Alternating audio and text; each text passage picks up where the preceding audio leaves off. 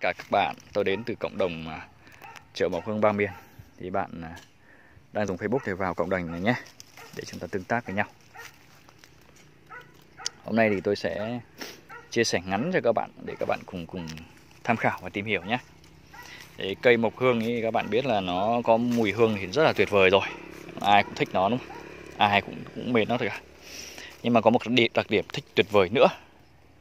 Có một điểm vô cùng tuyệt vời nữa đó là nó khác hẳn với tất cả các cái cây ngoài kia cây công trình cây đô thị hay là cây mà có màu hương hoa sắc đẹp.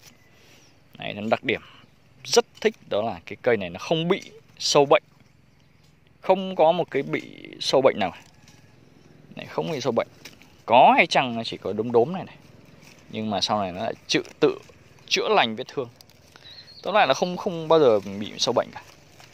Đấy kể cả những cây đại thụ cây to to hẳn lên. Đấy các bạn. To hẳn lên thì nó có hay chăng thì nó chỉ có cái cái, cái, cái con kiến nó, nó đục thân thôi. Nhưng mà trường hợp là ít lắm. Ít. Mặc dù một số các cây ví dụ như cây uh, những cái cây có mùi màu hương hoa hồng này đấy, hay là lan tiêu một số loại cây đấy thì là gì? Là nó có thể xảy ra cái tình trạng như là nó bị uh, mục. rỗng thân hay là sâu đục thân nó đục vào. Đấy. đấy nhưng mà riêng loài này thì không. Các bạn nhìn hoa này. Cây hoa thì nó mọc từ nhỏ.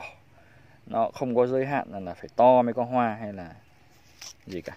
Đấy, một cái cây bé như thế này nó sai hoa như thế này các bạn. Nó phải tuyệt vời không? Rất là thích. Rất là tuyệt đấy. Bông rất là to. Thì đấy là mình chia sẻ để cho các bạn mới mới tìm hiểu cái mộc hương, nắm được. Đấy. các bạn nhìn này, đẹp chưa? Rất là thơm luôn. Mình sẽ tận hưởng cái cái chùm bông hoa này. Đấy thấy chưa? Rất là tuyệt. Quá thích luôn. Đấy. Và đảm bảo với các bạn là là là đây là mộc hương ta hết các bạn nhé. Mộc hương ta hết. Toàn bộ là mộc hương ta. Rồi, xin cảm ơn các bạn. Hãy vào cái cộng đồng chợ mộc hương ba miền để các bạn đón nhận các kiến thức và chia sẻ ở trong cái cộng đồng này.